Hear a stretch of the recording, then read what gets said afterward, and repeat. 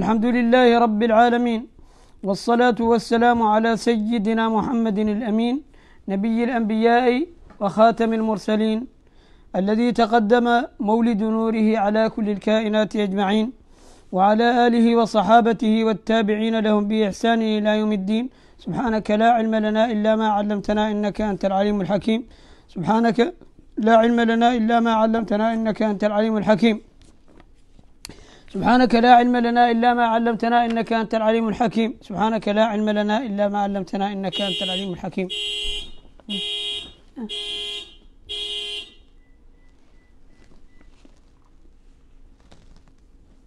من المقرر أن نعطي درسا عن استقبال المولد يوم غد ولكن هذا الدرس مقرر أن يكون مترجما بالإنجليزية. والكثير ممن ينتسب إلى العرب في هذه الأيام أو يدعي فهم العربية لا يريد الاستماع إلى الإنجليزية أولا. يريد أن يسمعها بالعربية. ولكن لي علي على ذلك يعني تعليق لأن إخواننا العجم أكثر من العرب بكثير. وللأسف الأمة أيضا عربها صاروا عجما فغالبهم أيضا يتمتع للأسف باللغات الأجنبية كالفرنسية والإنجليزية والصينية وغيرها. فغالب من يحمل الشهادات في هذه الأيام أكثر تمكنا في لغات العجم للأسف. وهذه مصيبة أخرى. فنرجع إلى أن الغالب حقيقة عجم, عجم حقيقة عجم يعني من من من الجهة اللسانية وإن كانت وصوله عربا. وفي ذلك أيضا عدم صبر لأن يعني الإنسان إذا كان يتطلب مقصده فلا حرج عليه أن. أو ينبغي له أن يصبر حتى يست... حتى لحظات وبعدين يسمع آخر الدرس إما إما أن ي... إما أن يفكر فيما سمع وانتظاره أيضا عبادة كما في الحديث الصحيح أنتم في الصلاة ما انتظرتموها وعلى كل حال نتماشى مع الواقع حتى لا حتى لا نهبط همم الحاضرين وحتى لا نعطيهم مطلوبهم. كان الدرس غدا إن شاء الله على استقبال المولد النبوي والآن أردت عجالة بنسبة هذا المولد الشريف لأن غالب بلاد المسلمين عليهم الليلة هي مولد رسول الله صلى الله عليه وسلم ربيع الأول. أولا نريد أن نرحب ونسلم على العامة على عامة المعمورة الإسلامية وأهنئهم بهذا العيد العظيم الكريم المبارك. وهذا الشهر المبارك وهذا الرسول المبارك الذي رفعهم الله تعالى به وجعلهم به دون سائر الأنام قادة يقودون الأنام. ورد السؤال وقد أجبت عن هذا مرات إلا أنه للأسف يتكرر السؤال بعد بعد الجواب لكثير من الأمور لغفلة الناس وللمشاغل الدنيوية ولأن الكثير من المشوشين دائما يلبسون وبعدما يأتي جواب يلبسون تلبيسا آخر عن حكم الاحتفال بالمولد النبوي وما هو موقف الشرع منه. فأجيب مستعينا بالله تعالى أن الأمر لا خلاف فيه بين المذاهب الأربعة بلا خلاف فينا ذلك. لا خلاف في ذلك الاحتفال بين المذاهب الأربعة بلا خلاف. وسأورد على ذلك الأدلة ثم سأبين حد المولد الشرعي. وقد نظمت في ذلك أبياتا فليستمع إليها السامع وبعد ذلك سأورد له الأدلة. مع أن مثلي لا ينبغي له أن يسأل عن الأدلة إذا سمع كلام علماء الأقدمين. كما نص عليه العلماء يعني علماء الأصول. كما قال سيدي عبد الله بن الحاج إبراهيم في مراقي السعودي من لم يكن مجتهدا فالعمل منه بمعنى النص مما يحضل وكما نص عليه أحد علمائنا أعتقد المختار بن بونة رحمه الله تعالى في أحد كتبه ونقل ذلك شيخنا العلامة الزاهد الورع المرابط الحاج رحمه الله الجميع ونفعنا ببركات النبي صلى الله عليه وسلم وبركاتهم حيث يقول وعالم الوقت عالم الوقت يعني كمثل مرابط الحاج وكمثل أضراب وعالم الوقت إذا هو استدل بالذكر والحديث ضل بالذكر يعني القرآن بالذكر والحديث ضل وأضل لأن لأن أفهام العلماء الحاضرين قاصرة عن مراتب المجتهدين بلا خلاف. ولذلك حدثني شيخي حد من حفظه الله تعالى ورعاه أن أبا أن أبا شيخنا المرابط الحاج السالك بن فحفو كان تلميذا للمرابط محمد بن أحمد زيدان ومكث عنده ثمان سنين بدون أن يأخذ أي إجازة كما أخبرني بذلك آه، شيخنا المرابط حدمين حفظه الله تعالى ورعاه. قال إن المرابط محمد بن أحمد زيدان قال أنا بنفسي لا أبلغ شراك النعل لسيدي عبد الله بن الحاج إبراهيم وسيدي عبد الله بن الحاج إبراهيم لا يبلغ شراك النعل للمجتهد وهذا صحيح. لأنك إذا تتبعت جميع كتب سيدي عبد الله بن الحاج إبراهيم لا يخرج عن مشهور في فتواه عن مشهور بمذهب مالك إلا مرة واحدة. خرج في رضاع في ثبوت الرضاع بالمرأة الواحدة وقد سبقه لذلك جماعة من علماء من علماء المالكية. وانتقده يعني انتقده يعني المعاصره من العلماء وردوا القولة وقالوا العبرة بالقولة لا بالقائل سيد عبد الله وإن كان قال فيه ابن ميابة إذ هو في الحديث لا يبارى كأن ما نشأ في بخارى وقال فيه محمد العاق بن ميابة أيضا في نظم النوازل وباحث في أرضنا في خلفه كباحث عن حتفه بغلفه فأي مسألة ضعيفة لم يسلمها الآخرون من العلماء ونحن نتمشى مع جمهور أهل المذهب. إذا إذا لم يسلم لسيد عبد الله بن الحاج إبراهيم مع جلالة قدره وعظم منصبه وإذعان العالم الإسلامي له في أنحاء المعمورة في جميع المعمورة الإسلامية فكيف يسلم لمن هو مثلي؟ قاصر الباعي أن يستدل بالحديث أو يستدل بالقرآن. هذا يعني هذا هذا مفروغ منه. من هو؟ من المعاصرين الآن أراد أن يستدل بالحديث يعني مباشرة بالقرآن بدون أن يأخذ كلام الأقدمين فهذا جور على الشريعة هذا جور على الشريعة وليستغفر القائل رب العالمين منه مليار مرة وليتوب. وليقول أستغفر الله من قول بلا فهم. البوصيري يقول أستغفر الله من قول بلا عمل لقد نسبت به نسلا لذي عقمي فليقول هو أستغفر الله من قول بلا فهم. وهذا الإمام السيوطي على جلالته ومنصبه العالي. قال كنت أرى المسألة وتترجح في ذهني لما يترتب على ذلك في عقليتي من الأدلة وأرى الإمام النووي قد رجح عكسها قبلي فأترك قولي لقول الإمام النووي. وهذا حال مشايخنا الأقدمين. فتطفل الحاضرين الآن وانتقادهم على الأقدمين جور وظلم. فليتقي الحاضرون رب العالمين وليستغفروا للسابقين آباءهم وليقولوا كما قال تعالى والذين جاءوا من بعدهم يقولون ربنا اغفر لنا ولإخواننا الذين سبقونا بالإيمان ولا تجعل في قلوبنا غلا للذين آمنوا ربنا إنك رؤوف رحيم. هذا هو صحيح. وهؤلاء آباؤنا فيجب علينا أن نستغفر لهم. رب اغفر لي ولوالدي وللمؤمنين يوم يقوم الحساب. فآباؤنا الذين علمونا أو نقلنا عنهم لا بد أن نتأدب معهم ونحترمهم ونعطيهم منصبهم ونترك القيل والقال والتزندق والتطاول التطاول بلا بلا معنى.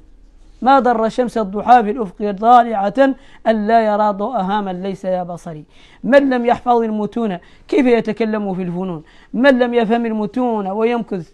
ثلاثين سنة وأربعين سنة بعد دراسته يطالع الكتب. كيف كيف كيف يكون في العير ولا في النفير؟ ونحن قد مثلنا بهؤلاء العباقرة سيدي عبد الله بن حاج إبراهيم والدسوقي وصاحب الموني والسيوطي جلال السيوطي وغيره من حفاظ الأمة وفقهائها كل منهم يتقاصر يتقاصر ويقول أنا لا يجوز للفتوى بغير مشهور مذهبي.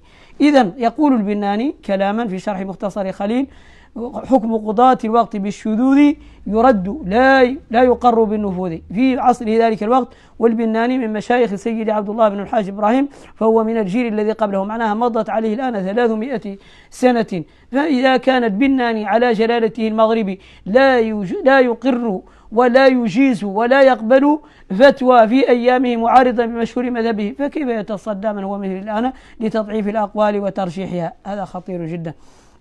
إذا حد المولد هو ما ذكرته وذكرت وذكرت وذكرت حكمه عند العلماء. قلت عفى الله عني وإنما أنقل فقط كلام الأقدمين. قلت مولد سيد الأنام طه من المعالي كلها أعطاها إذ أبرز الله الوجود فيه.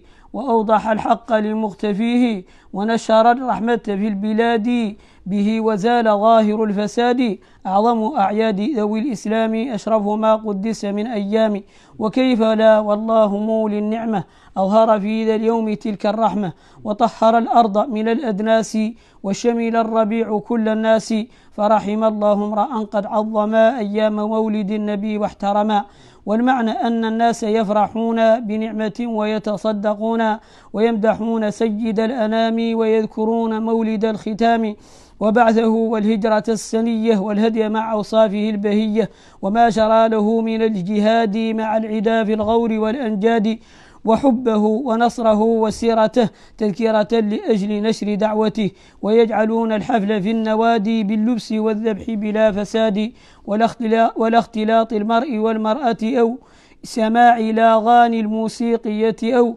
تبرج أو غير ذا من البدع فإن ذا محرم قطعا فدع فيه كغيره من الأعياد. فاصغ لنظم العالم الجواد ففيه ما يشفي الجهول من نقول العلماء من كل جيل بالدليل فإنه نظم جليل الراقي شمر عن ساعده والساقي. ولا تصخ لمنكر منكر معاند أعمى بليد ما له من قائد. يقوده الهوى إلى العناد ولم يعظم أفضل العباد. واتبع كلام العلماء الراسخين التابعي سنة خير المرسلين فإنهم قد أوضحوا السبيل والدين لم لم يبدلوا تبديلا. وسر على نهج الرعيل الأول فما لنا إلا اتباع الأول. وكن فطينا منصفا ذا عقل يزن حوادث الورى بالنقل ولا تقل في كل محدث حرام بل فيه تفصيل أجلاء الأنام فقد يكون بدعة مستحسنة أو بدعة منكرة محرمة أو من مباح البدع الحلال بحسب الحادث من أحوال يجري على القياس في الأصول فارجع إلى مدارك الأصول كما عزاه العز كما عزا كما حكاه العز في القواعد مشمرا عن ساقه والساعد. نعم.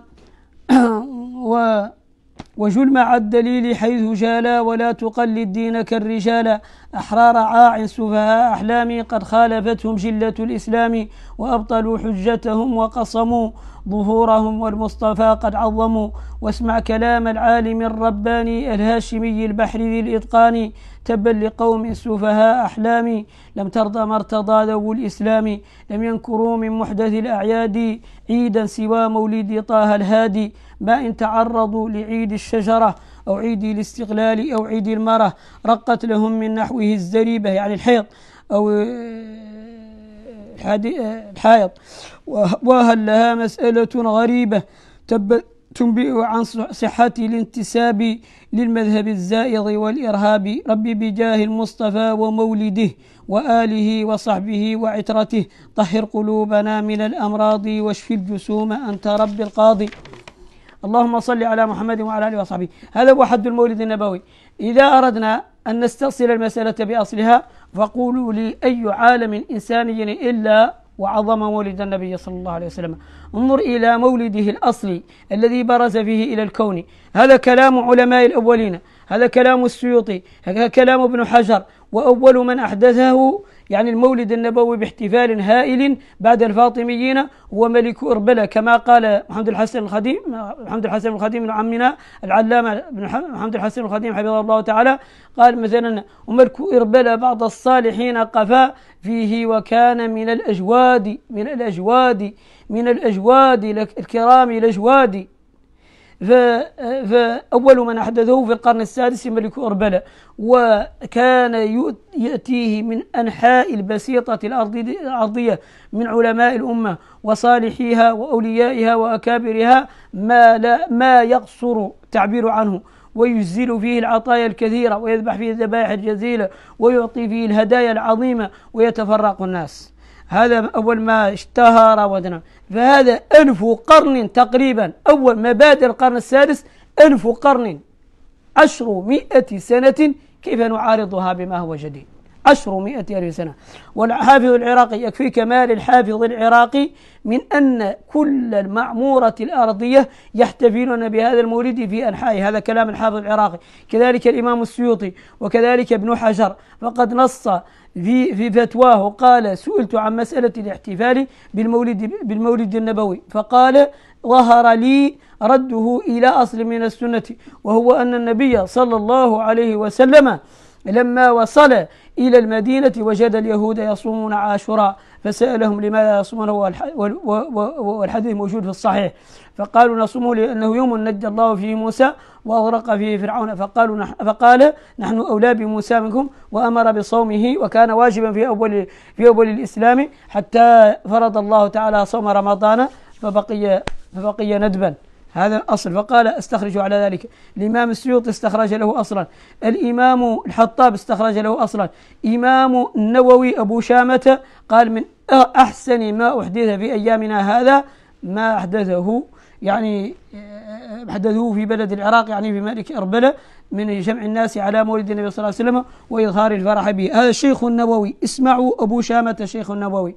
واسمعوا العراقية. واسمعوا يعني جميع معمورة الأرضية من المسلمين مذاهب الأربعة. اسمعوا كلام الدسوقي اسمعوا كلام المون الشارح خليل. قال ويكره صوم يوم المولد لأنه عيد من أعياد المسلمين. في باب مكروهات الصوم من من خليل شرح خليل. إذا هذا كلام العلماء وأدلتهم على ذلك مبسوطة. لكن خلينا نكون واقعيين. قولوا لنا ذرة من العالم الكوني ليس الإنساني فقط إلا واحتفلت بمولد النبي صلى الله عليه وسلم. يوم تفرس فيه الفرس أنهم قد أنذروا بحلول البأس والنقم وبات إيوان كسرى وهو من وهو منصدع كشمل أصحاب كسرى غير من غير ملتئم والنار خامدة الأنفاس من أسف عليه والنهر ساهي العين من سدم وساء ساوة أن غاضت بحيرتها ورد واردها بالغيظ حين ضمي كأن بالماء ما بالنار من ضرم. حزنا وبالماء ما بالنار من بالنار كأن بالماء ما بالنار من ضرم. حزنا وبالماء ما بالنار من ضرم.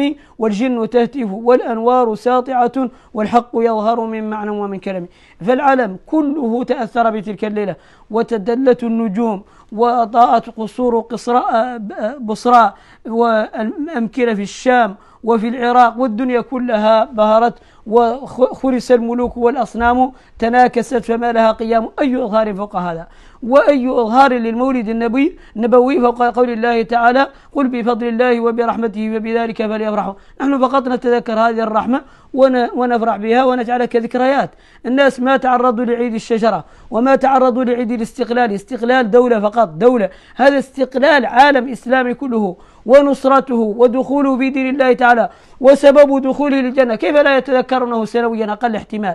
ومن قاس هذا على أن الصحابة لم يفعلوا فهذا قياس في غير محل النص. فالصحابة موجودون ما كانوا يفارقون رسول الله صلى الله عليه وسلم وما كانوا يتركونه لحظة. فهذا أبو بكر انظروا شمائل الترمذي وشروحها. كانوا يجدونه أبو بكر رضي الله تعالى عنه في الشوارع يلتمس رسول الله صلى الله عليه وسلم. فيقول يا أبا بكر ماذا الذي أخرجك الآن؟ يقول أشتاق إلى رسول الله صلى الله عليه وسلم. قد فارقه لساعة واحدة. وهذا عبد الله بن أنيس لما ذكر له رسول الله صلى الله عليه وسلم أنه قبض قال اللهم خذ بعيني حتى لا أرى أحدا بعد حبيبي. وهؤلاء الأنبياء يستقبلونه في بيت المقدس ليرحبون به. وهؤلاء الأنبياء يرافقونه. وهؤلاء الملائكة يرافقونه ليلة الإسراء يخدمونه. وقدمتك جميع الأنبياء بها والرسل تقديم مخدوم على خدم وأنت تخترق السبع الطباق بهم في موكب كنت فيه صاحب العالم حتى إذا لم تدع شوا لمستبق من الدنو ولا مرقا لمستنم. خفضت كل مقام بالإضافة إذ نوديت بالرفع مثل المفرد العالمي كيما تفوز بوصل أي مستتر عن العيون وسر أي مكتتم. فالترك أيضا عند كثير من الأصوليين لا يعد لا يعد لا يعد دليلا.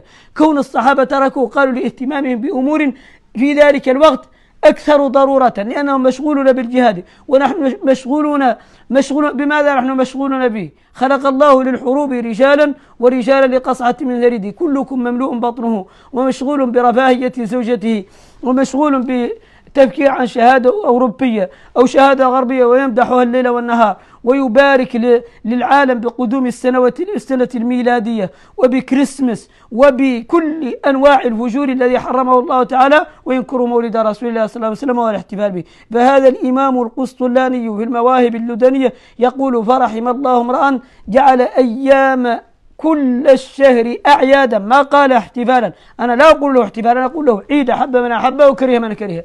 جعل الله جعل أيام هذا الشهر أعيادا ليغيظ من في قلبه داء لرسول الله صلى الله عليه وسلم. هذا المواهب اللدنية للإمام القسطلاني.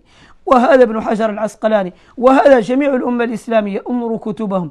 هذا شيء مفروغ منه. فالتطفل الآن عليه ورده رد لمفروغ منه. هذا كلام أمناء الرسل وراسهم حملة المسائل أهل الفنون والقرون الأول فليقبل الناقد أو لا يقبل. ولكن كما قلت لكم المعنى أن الناس يفرحون بنعمة يتذكرون مولد النبي صلى الله عليه وسلم وينشدون الأشعار الجميلة ولا يختلط الرجال والنساء ويتصدقون. وهذا مما يفرح رسول الله صلى الله عليه وسلم. النبي صلى الله عليه وسلم أفرح ما يفرحه أن يتلاقى المسلمون وأن يتحدثوا عما من الله تعالى عليهم به في هذا الكون من من فضله سبحانه جل جلاله ومن نشر الإسلام ومن ذكر سيرته العطيرة وتزاور الناس فقط هذا يزيد على هذا. من زاده على ذلك فهذا بدعة. وقلنا لنا أي جمعة الآن تخلو من المناكر؟ سنحرم الجمعة أو أي يعني عيد عندكم كما تقولون عيد شرعي. عيد عيد عيد عيد الأضحى أو عيد الفطر من رسول الله صلى الله عليه وسلم. كم تفعلون فيه من المعاصي والملابس السيئة واختلاط الرجال والنساء؟ سنقول العيد من فيه من أصله. هذه العبرة ليست بالأوصاف. إذا انتفت الأوصاف. خلاص. فالأصل أصل. وإذا وجدت الأوصاف الأوصاف هي المانعة. الأوصاف هي المانعة معناها سنحرم العيد عيد عيد الفطر من رمضان ونحرم عيد عيد الفطر من عيد عيد الأضحى ونحرم صلاة الجمعة ونحرم دخول المساجد ويكون هذه مشكلة. هذه مشكلة. هذا هذا يقال له إعمال أذهان الضعاف الباعوض مع أذهان الأشراف الجبال الذين تقدموا. هذا يعني كلام أمناء الرسل وراثهم حملة المسائل أهل الفنون والقرون الأول فليقبل الناقد أو لا يقبل. ومن له سؤال فليسأل وأقول قولي هذا وأستغفر الله لي ولكم وأهنيكم جميعا أهنيكم جميعا بقدوم ربيع الأول. وأسألكم الدعاء لي ولوالدي ولمشايخي ولذوي ولكل من تعلق بي. والسلام عليكم ورحمة الله وبركاته. سبحانك اللهم وبحمدك أشهد أن لا إله إلا أنت أستغفرك وأتوب إليك. سبحان ربك رب العزة عما يصفون وسلام على المرسلين والحمد لله رب العالمين. ربنا آتنا في الدنيا حسنة وفي الآخرة حسنة وقنا عذاب ربنا آتنا في الدنيا حسنة وفي الآخرة حسنة وقنا عذاب ربنا آتنا من لدنك رحمة وهجي لنا من أمنا رشدا. ربنا آتنا من لدنك رحمة وهجي لنا من أمنا رشدا. ربنا آتنا من لدنك رحمة وهجي لنا من أمنا رشدا. ربنا آتنا من لدنك رحمة وهجي لنا من أمنا رشدا. ربنا لا تزغ قلوبنا بعد إذ هديتنا وهب لنا من لدنك رحمة ربنا آتنا من لدنك رحمة وهجي لنا من أمنا رشدا. ربنا لا تزغ قلوبنا بعد إذ هديتنا وهب لنا من لدنك رحمة إنك ربنا آتنا في الدنيا حسنة وفي الآخرة حسنة وقنا النار ربنا آتنا في الدنيا حسنة وفي الآخرة حسنة وقنا النار وما توفيقي إلا بالله عليه توكلت وإليه نوب وما توفيقي إلا بالله عليه توكلت وإليه نوب يا ربي يا ربي بجاه نبيك المصطفى ورسولك المرتضى طهر طهر طهر قلوبنا من كل وصف. يباعدنا عن مشاهدتك ومحبتك. وأمتنا على السنة والجماعة والشوق إلى لقائك يا الجلال والإكرام. وصل اللهم على نبينا محمد صلى الله عليه وسلم وعلى وصحبه وسلم. اللهم صل على محمد وعلى آل محمد كما صليت على إبراهيم وعلى آل إبراهيم. وبارك على محمد وعلى آل محمد كما باركت على إبراهيم وعلى آل إبراهيم في العالمين إنك حميد مجيد. سبحانك اللهم وبحمدك أشهد أن لا إله إلا أنت أستغفرك وأتوب إليك. سبحان ربك رب العزة عما يصفون وسلام على المرسلين والحمد لله رب العالمين.